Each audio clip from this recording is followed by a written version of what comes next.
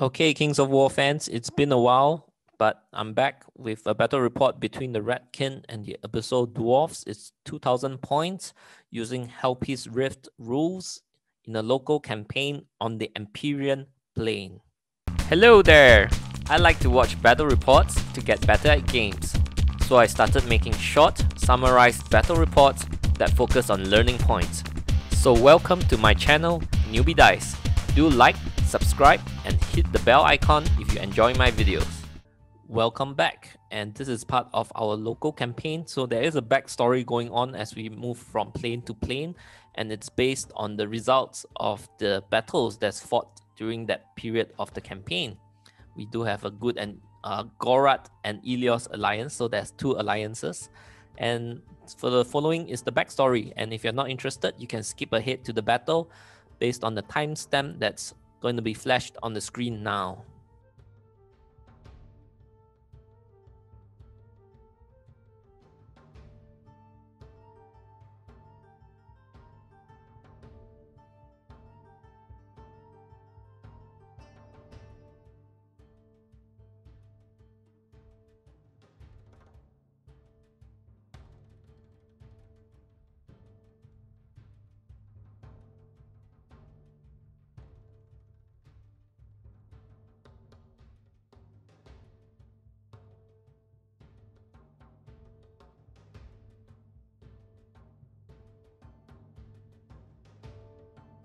With the Empyrean plane, there's a very, very interesting scenario rule called Winds of Change, and this is, uh, in my opinion, the most fun and interesting of them all. So let's me go into details of it.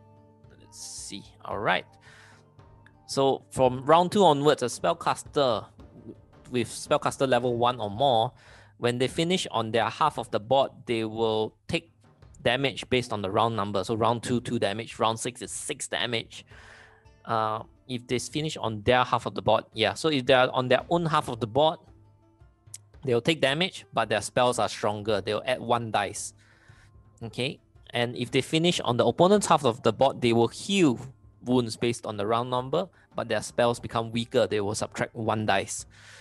So this is very interesting. And um, if you if your spellcaster take damage uh, until it's more than its uh, nerve value, it will automatically be routed. So there's some uh, healing and inspiring terrain in this game as well. The channeling table, there are some interesting channel channeling table results for the Empyrean plane. There's Radiance of Life, which is cool. Thunderous Charge, which is very pretty strong. It's basically Bane Chant for free, right? Especially, but of course, only if your unit is not disordered. And there's this Hammer of Measured Force effect, but it also works on ranged attacks. And there is uh, uh, healing D3. There's a honey wings of honey maze effect, and there's this effect which is pretty strong. Ignore all modifiers when rolling to hit, and this is great for ignoring stealth, cover, and your movement and shooting penalty, especially if your unit has no steady aim. For spells, there are two interesting spells. Celestial Restoration lets you heal D3 and uh, on hindsight, coupling with the plus one dice of the scenario, it might be quite strong. I think I did not take in, that into consideration when I was planning my list. But nonetheless, uh, Ratkin already has Radiance of Life and Drain Life. I think I did not need extra healing spells. Sharp Eye Incantation is a pretty cool one, plus one to its range attack value, up to a maximum of four plus. So my list pretty standard uh, vein of, of on my Ratkin list. There's two shock troop hordes, one shock troop regiment, tunnel runners, vermintide. I brought a death engine spewer to take advantage of that uh, channeling effect that ignores modifiers. That would mean that I would not have movement and shooting penalty, ignore cover and stealth and whatnot, right? So I have two Brood Mothers. One is my campaign version of the group Brood Mother. That one has earned plus two attacks from leveling up. So it actually has seven attacks, which was why I gave her the Blight Staff because Blight Staff uses your attack value. So he has seven shots as well. And I gave him a level spellcaster level two just for the channeling dice and blessing of the gods. So gives her elite on everything melee, shooting, and uh, what's that called? Drain life. I have Scud and Tangle and my favorite Brute and Force over here. My uh, opponent's list, the Abyssal Dwarfs list. I'm constructing based on memory and pictures because we kind of lost the list. But uh, I think the Immortal Guard is actually a Black Souls regiment, but he has a regiment of dwarfs. Okay, three troops of gargoyles, one horde of decimators, probably with elite on it. Okay, I don't have the items. So he has two horde of lower obsidian golems, probably with items on them as well. Uh, one grog mortar, two heavy Uncle heavy mortars, uh, hexcaster with weakness. The iron caster probably has the sharp iron. He has sharp iron incantation on the iron caster for sure. I'm not sure about his other spells. And the overmaster on ancient winged half breed. Let's look at our deployment. I got the bottom, he got the top, and I'm gonna label the units out here. So a few things to take note. There's a hill in the middle, which is nice to block line of sight from his shooting somewhat. And there's this building on my right side, which is pretty annoying because I did not want to. I, firstly, I can't deploy hordes there, and I didn't want to deploy units there because it might be too cut off from the middle of the board. We are playing dominate, so I did not want to put a unit there, and immediately my opponent kind of capitalized on it by putting his ancient winged half breed there. So this building will provide some uh, denial of uh, landing zones and charging zones. So it'll be a bit of dancing around. There's a unit of gargoyles here on the right flank as well. It's shrouded in the shadows. So let's move on to turn one.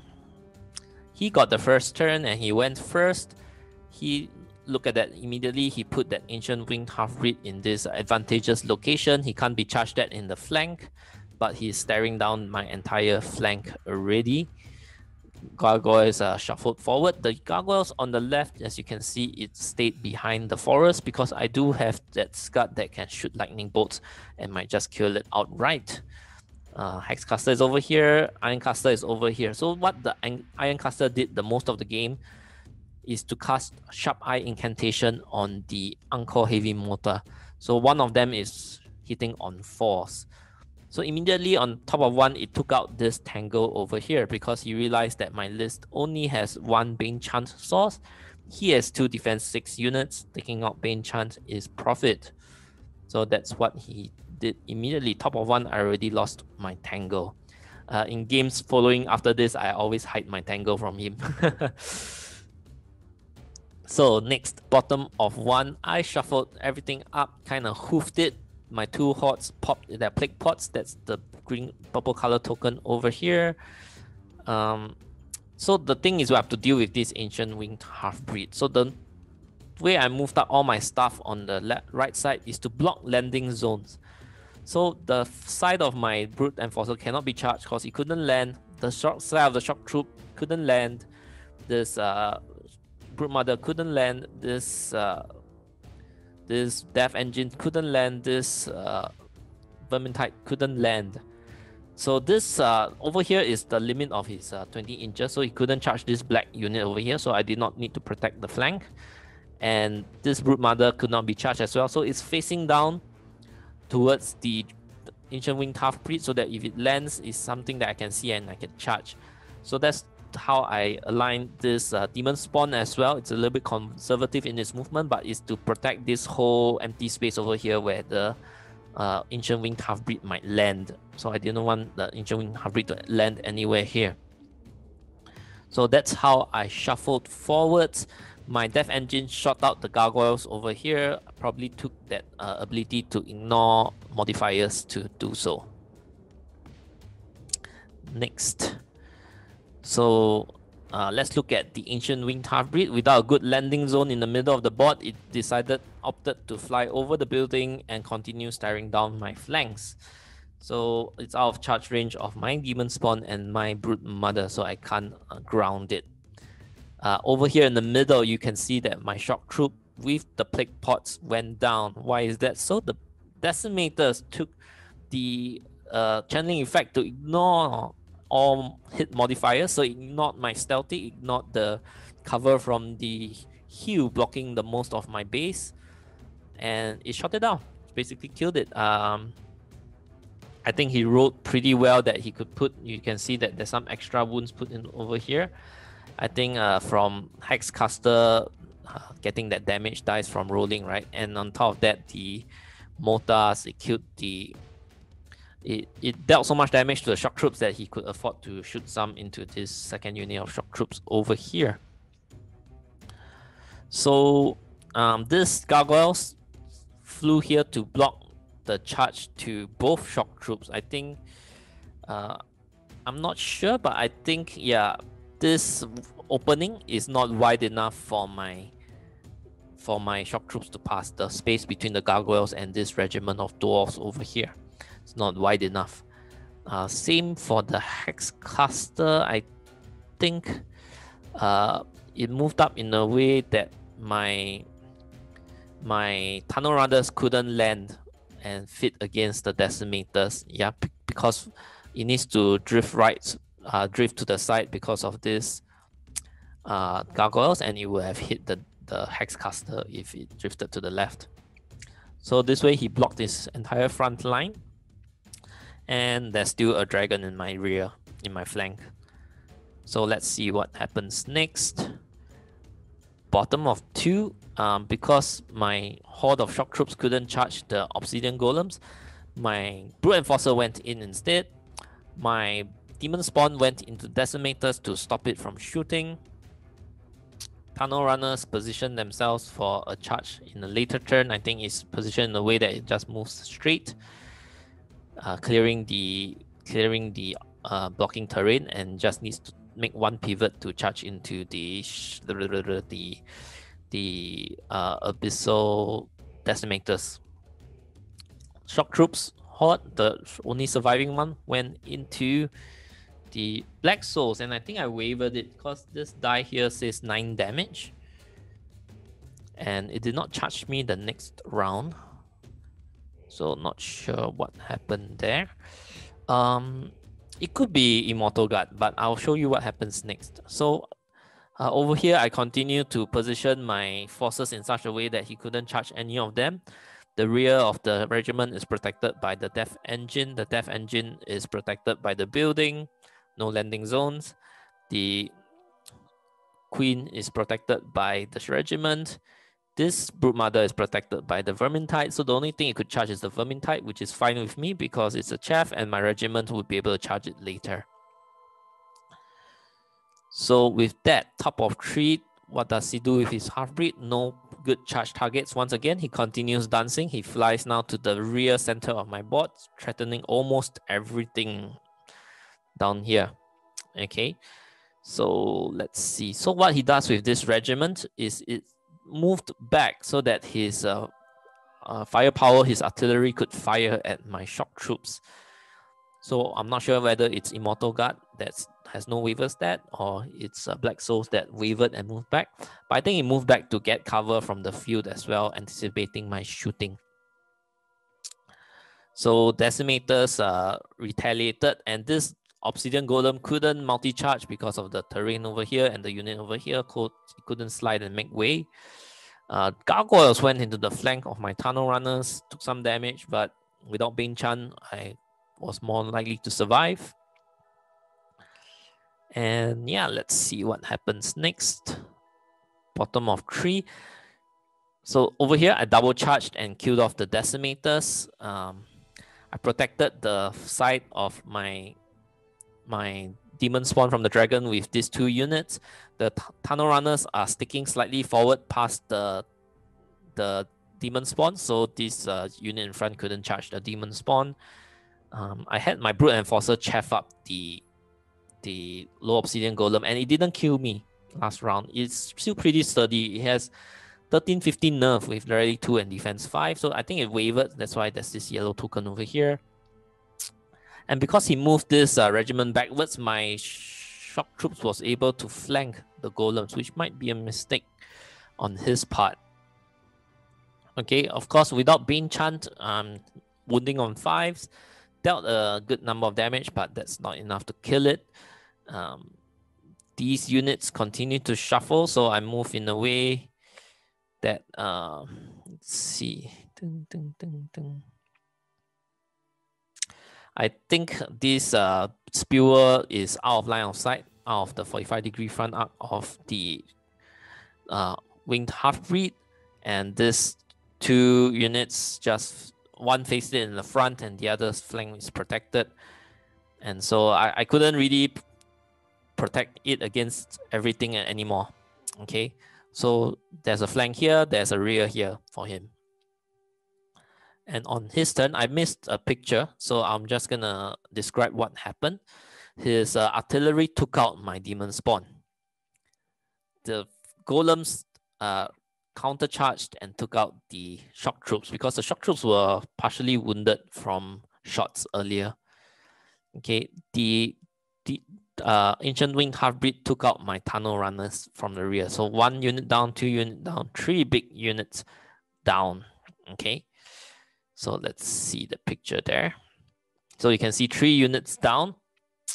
Uh, in retaliation, what I did was uh, the death engine. Uh, I think the death engine double charged. The death engine, this might be bottom of five. I'm not quite sure because I've missed quite a few pictures here. But the death engine, I remember shot down the regiment of uh, dwarves over here. And I think in multi-charge to kill off the obsidian golems over here because it was on the hill. So it gets an extra thunderous Okay. And what else happened?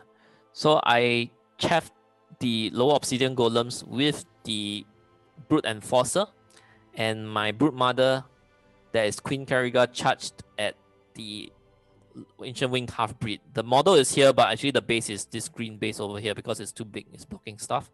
So it's actually here after it took out the tunnel runners. My uh, Brood Mother charged it and take note of the scenario Winds of Change. My Brood Mother is on the opponent's half of the board. Every round, you'll heal wounds based on the round number. So it's going to be healing 4, 5, and 6 wounds on top of the one wound every round from Radiance of Life. So I made a calculation and I think that there's a very good chance that you will be able to survive a few rounds against the uh, Ancient Winged Half Breed. So for my opponent, he took out the Brute Enforcer, but looking at the game coming near to the end, this is Dominate, and he only has 4 unit strength left with the Horde of Golems and the Ancient Winged Half-Breed. For myself, I have 3 from this uh, um, Shock Troop regiment. It did not fight the whole game. It was dancing with the dragon the whole game, and the dragon just flew overhead. But now it's there for its 3 unit strength and each of my units are one unit strength each. One, two, three, four, another four unit strength. So near, uh, this is a picture at the end of the game. Um, the mortars didn't perform, and it took some. Uh, um, I think it maybe dealt some damage to the death engine, but it survived. Um, the rest of my units hit behind this hill, so it couldn't be shot at. So and look at that, the Brood Mother survived against the uh, the dragon, the Ancient Wing Half Breed. So with that, I pinned it down for the rest of the game, and I won the game on scenario. So let's look at some learning points. Well, um, especially for Abyssal Dwarfs, you'll tend to take a lot of uh, powerful units that have very little to no unit strength. That's your artillery and your Hexcaster, Ironcaster for search if you bring the Obsidian Golem. And you'll really be lacking in unit strength. So that is something to consider when you build your list, especially uh, Abyssal Dwarfs. And cost of spells. I'm not sure if that Sharp Eye incantation is worth it because it's only buffing the one mortar uh, from a 5 plus to a 4 plus. Granted, each mortar is a each, each hit from mortar blasts into an average of 4 hits, right? But I don't know, you know, you have to bring that hero, you have to pay for that spell, and you're not casting the other spells that it comes with. So it's a pretty hefty investment. Whereas uh, the channeling effect is awesome because it's free, right? Basically, if you roll it, you get it. That ability to ignore modifiers is wonderful. Dancing against flyers, so 75 millimeter dragons and dragon-like creatures. Uh, it's much easier to block the landing zones now, so I think it is a great move by Mantic from second ed to third ed to put it on 75 millimeter bases. They are uh, scary, but they can be managed this way. And in the end, it still charged my rear, but I think I delayed it long enough. I did delay for the first three turns. It only got into combat in the second half of the game. charging into the tunnel runners, and and um, in the end got pinned by my brood mother. If it wasn't this special Empyrean plane scenario, maybe the brood mother would go down, but that's all it would kill most likely. And well, um, there's also some credit to him forcing me to adjust the way I move my units, you know, the way that I have to compact everything, uh, block the size of everything. I think there's some profit for him there as well. So, well, that's how the dance against flyers goes. Eventually, if he decides not to uh, go in and he bide his time, he will eventually get a rear. You can't uh, protect against it forever, most likely. Chaff, Chaff is awesome. Delay to win. So he delayed with his gargoyles, with his hex caster, uh, while I delayed with my brute enforcer and sometimes the brood mother itself. Focus on scenario, so always have a rough plan to win on scenario. When I lost that tangle and the shock troop horde at the start of the game, I was like, oh man, but I uh, at that point I already knew that okay, I still have a very good chance in this game because I have quite a lot more unit strength. I need to get my unit strength into the game. And true enough, that regiment was uh, one key piece that helped me win the game. And that's all for this battle report. Hope you enjoyed it. The next game will be on the Empyrean plane as well, but it will be a 2v2 game with us uh, 2v2 rules, which I'll share in, in that battle report itself. Do like, subscribe, and hit the bell notification. So I'll see you in the next video. Bye.